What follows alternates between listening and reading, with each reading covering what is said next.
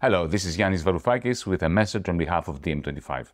On Thursday, the trial of Israel for genocide brought by the South African government, kudos to them, begun. At long last, a government of a people who know deeply in their bones what apartheid means, what genocide means, is unmasking Olaf Scholz, Emmanuel Macron, Ursula von der Leyen, Kyriakos Mitsotakis, a whole gamut of European leaders who are standing idly by, along with the Eurogroups of the Socialists and Democrats, even the European Party of the Left, who are turning a blind eye at the genocide being perpetrated as we speak in Gaza, in the West Bank, in East Jerusalem. Watch her speech at The Hague on behalf of the South African government, of the brilliant Irish lawyer who, staring in the eye the array of international judges, delivered the indictment of genocide that bears no doubt whatsoever. Who will forget Netanyahu addressing Israeli soldiers, invoking the Old Testament, specifically the story of the Amaleks,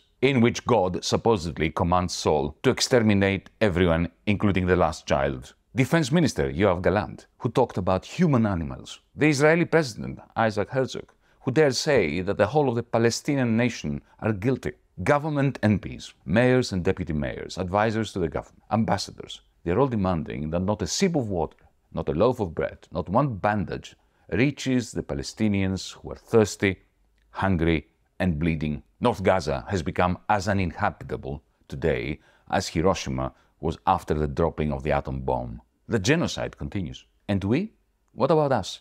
Beyond the demonstrations, we have a moral duty. We have an obligation until the genocide ends and the rights of the Palestinian people are recognized to work hard so that sanctions are imposed upon Israel, so that our governments and the European Union tear up every military or commercial deal, treaty with Israel, so that Israel is expelled from the United Nations, that it treats with such contempt, that it is expelled from every international body, that no athletic or sports event includes Israeli representatives, just as we had done against the South African apartheid regime. It is our duty, not only towards the Palestinians who are suffering genocide, but to progressive Israelis who understand that what their government is doing now is detrimental to the interests of Israelis and Jews worldwide. Why should we do this? Because if we don't, we will be judged by history to have been complicit. Because if we don't stand up for Palestinians today, who is going to stand up for us tomorrow?